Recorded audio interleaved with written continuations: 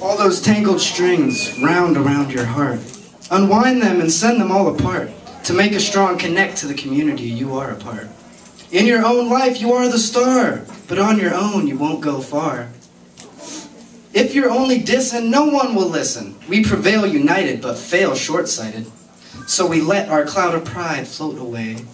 Live today like the only day. Right your wrongs before they lead you astray. I am part of the one. I put down my sword, knife, and gun, and reload my journal because writing's more fun.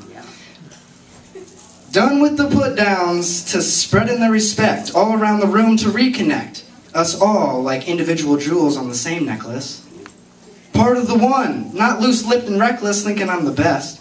Poetry is my bride and I am the groom, but I try not to let my lyrics self consume.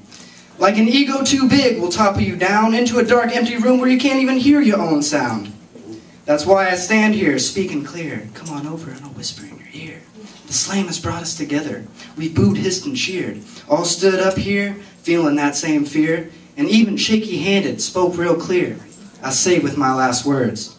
We sat down at the slam, ready to compete, but we'll all stand up, part of one ever flowing poetic beat.